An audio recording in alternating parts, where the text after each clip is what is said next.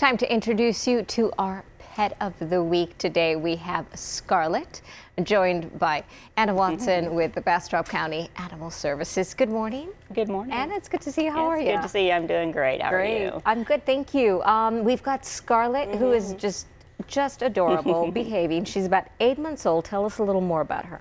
Well, she came to us with some injuries. We think she may have been attacked by a bigger dog, but she's healing up nicely. You might have a little scar or two left, but um, she is a sweetheart. She's a little nervous. She was just spayed yesterday, but um, she's just an all-around good dog. She's small breed. Um, it's probably our number one request at the shelter, small breed dogs. And she won't get much bigger than this. She's about eight pounds right now. She'll probably stay under pen, uh, 10 as an adult. So she's perfect for an apartment or a condo. Um, you name it. She's pr- uh, pr- you know do well anywhere. Yeah, we've been sitting here for about five minutes or so, and she's been behaving very well um, during that time. And Very quiet. Yeah, likes likes likes the petting, which is great. Um, absolutely. we want to talk a little bit about the the shelter's partnership with Save an Angel. Yes, they do low cost spay and neuter for the public in Bastrop, and um, they've been there for a couple of years now, and they're amazing. Um, it's the first low cost option we've had here in the county, and um, they uh, do their annual Mardi Gras party every year, and they raise money to go towards that and to help the homeless population in Bastrop. They're amazing. They throw a really great party, lots of you know food, drinks, music, and everything you expect at a Mardi Gras party. So that's what I wanted to ask you Yeah. about the uh, the Mardi Gras party, uh, P A W T Yeah, we don't have a speech impediment. It's potty. That's it's just fun to say that as well. Um, what are the details on that? It's going to be um, this coming Thursday, the 23rd, at Pinthouse Brewing on Ben White here in Austin. And um, it's everything you can imagine face painting, music, uh, photo booth, uh, door prizes, silent auction, you name it. It's going to be there. They throw an amazing event, and every penny goes straight towards helping their low cost clinic.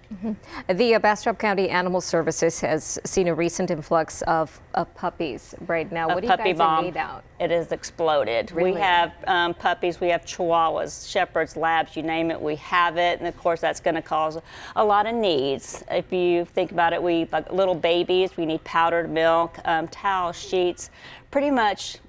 You, you name it, we need it. Um, even fosters to help with, you know, help take care of them. And um, you can go to our Facebook page or our website, and that's going to have our Amazon wish list, and we kind of prioritize our list of needs. So it makes it really easy if anybody wants to help.